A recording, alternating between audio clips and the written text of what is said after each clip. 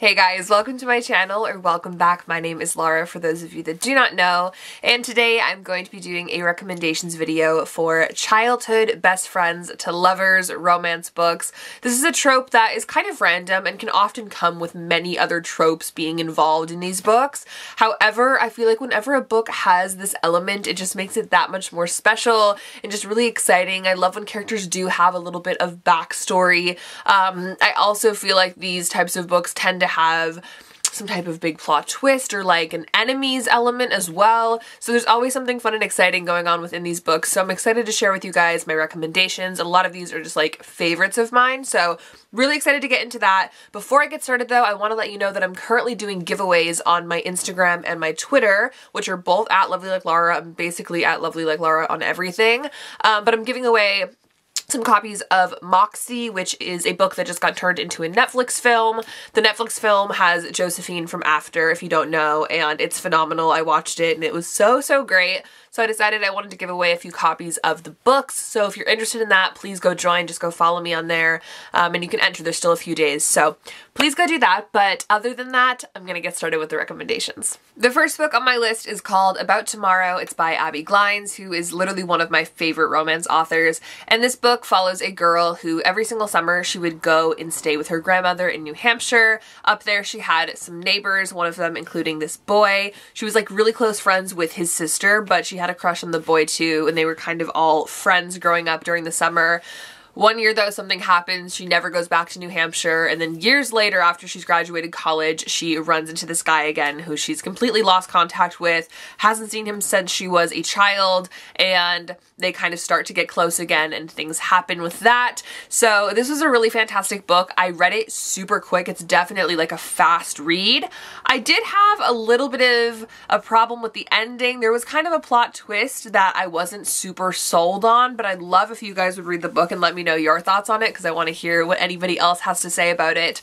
But other than that, I really did enjoy the story. I really enjoyed the chemistry between these two characters and kind of the angst of them getting to know each other again now in a completely different time of their lives. It was really interesting and Abby Glines always has a way of writing characters that makes her books very easygoing but enjoyable to read. So I highly recommend this one. I thought it was a lot of fun. Next up on my list is Little Lies by H. Hunting, also known as Helena Hunting. This is a spin-off from the Pucked series, but you can completely read it as a standalone. It's the only one I've read, so trust me on that. Uh, but it is about a girl who grows up with a big family, and in this family, her brothers have this friend. He's kind of like her friend too, but not really. He's closer to the brothers, but I would consider them childhood friends something happens to this girl when she's younger, something really tragic and scarring. And as she grows up, this obviously has a lasting effect on her. She's very sheltered because of it.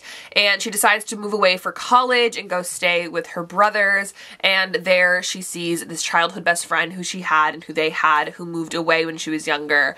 And he was always kind of like her protector because of the horrible thing that happened to her. He always kind of was close to her and was trying to be around with her so that he could be there if anything bad were to happen.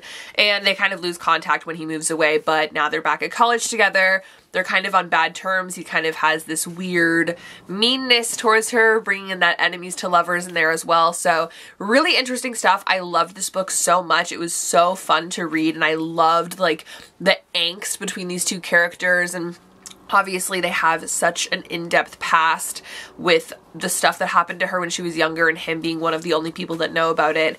It was just really intriguing. So I loved the book. I think this is going to become a series as well. So I'm super excited if there's anything else to come. But this was a really fun one and I just absolutely loved it. Next up on my list is A Thousand Boy Kisses by Tillie Cole. This is like one of my all-time favorite books, but it is just so tragic and sad, but I still recommend it to you guys because it's such a phenomenal book and it's written so well and the characters are phenomenal. It's really, really great, but it's about this girl who grows up, she gets this next door neighbor, it's this boy, and they immediately hit it off. They become best friends, they grow up a little bit, they end up dating once they get to high school. They're literally like that forever couple. Like everybody I feel like had one of these couples at their school that they were like together since seventh grade and just like nobody questioned them. That's literally them.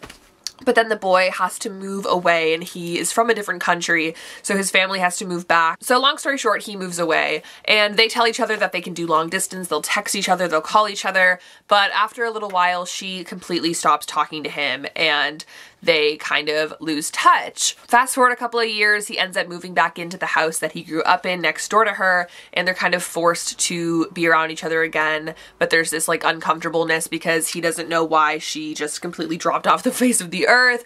And so a lot goes on from there. It gets a little crazy, but it's such a beautiful story and if you can endure the sadness, I highly recommend it. It's so good. Next on my list is a book that I literally talk about all the time, but it is because it is one of my favorites and it is Bad Boys Break Hearts by Michaela Smeltzer. This book is another really, really wonderful childhood friends to lovers. It's also like childhood enemies to friends to lovers. Um, so it's so fun. It's about a girl who grows up again with a neighbor and they are best friends, but she ends up moving away and doesn't really tell him anything when she moves. She's very young at the time, so it's not really like she can have a say in it. She moves away and they find each other again in college, and he kind of has this mean demeanor towards her. He's just kind of like held on to the fact that she left when he was little and like never said anything. So they have this like crazy angst between them, but they get to know each other again and the story kind of goes from there. It's kind of like a good girl, bad boy situation. He really has walls up and he's super rude and just like not like she remembers him and she just wants to know what's going on with that. So there's like another connection that gets formed when they're in college and it goes from there. Really wonderful book. I love the way this book is written. I think Michaela has some great writing. I love a lot of her books, but this one is just so good.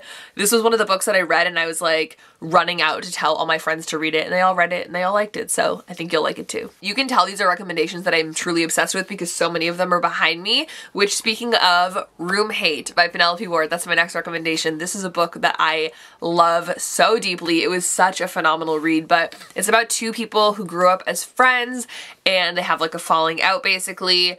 Growing up, they had this figure in their life, this woman who was very close to both of them, very special to both of them, and she passes away and leaves behind a beach house that she gives equal like custody to or equal like ownership of, I guess you could say. So they both own half of the house and they don't realize that until they show up the same summer to stay there together and neither of them is gonna leave so they have to stay together. And so they stay at this house together even though they have this really bad tension between them because of like unresolved issues from when they were younger.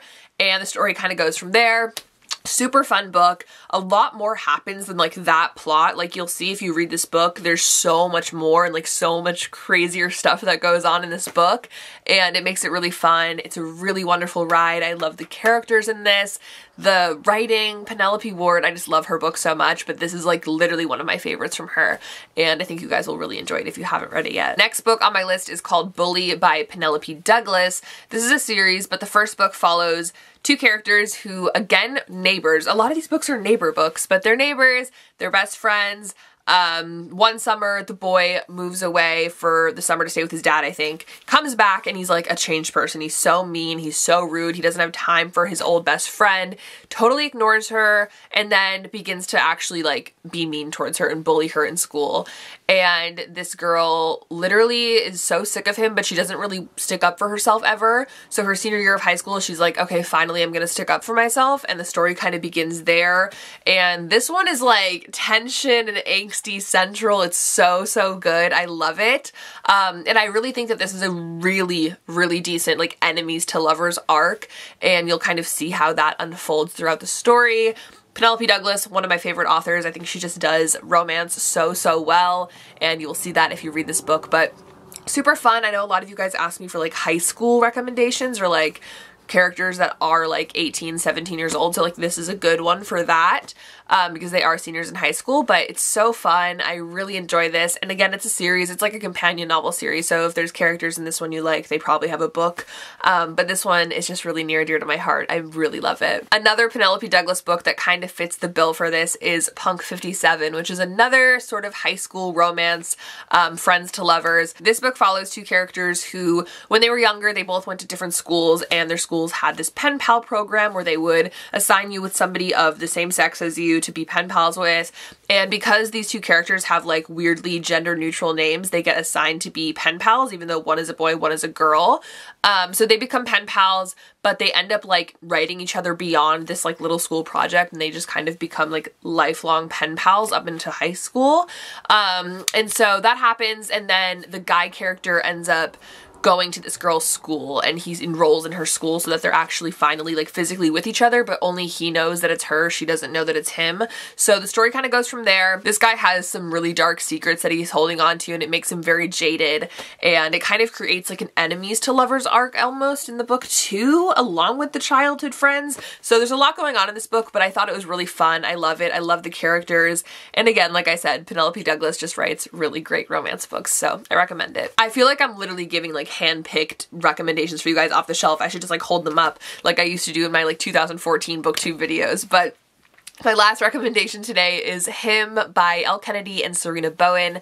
This is a duology, so there's two books about the same characters, and this book follows two boys who grew up going to hockey camp together, so they're friends when they're younger. One night something happens when they're at hockey camp that makes them stop talking, and they grow up and they end up back at this hockey camp as counselors, sharing a room, and they kind of have to confront what happened when they were younger and work together at this hockey camp, and it's just fun. I love the characters in this one and the camp atmosphere is so fun. Also, if you like hockey books, it's really amazing for that reason. I feel like Elle Kennedy does really great hockey romances, so this is definitely one of my favorites from her, but I just love this book so much. It's so sweet and it's just like a really decent friends to lovers book and I love the history that these characters have together and how they overcome their past issues and it's just a really great book so I highly recommend it. Okay guys so those are all of my childhood best friends to lovers book recommendations. I hope that you enjoyed it. I know that it's a lot of books that I talk about a lot but it just happens to be one of my favorite tropes so Hope you guys enjoyed the video nonetheless. Again, remember to go enter my giveaways on my Twitter and Instagram and just give me a follow over there. I'm always posting stuff for you guys, so definitely go over there, check it out. You can also down below check out my ASMR channel and my Wattpad book and just all the other things all in the description below. But thank you guys so much for watching this video. I hope that you're all having a fantastic day and that you found a new book to add to your TBR. Definitely let me know what your childhood to lovers book recommendations are for me in a comment down below. I would love to hear what they are. But other than that, I hope you all have a fantastic day and I'll talk to you all very soon in the next video. Bye!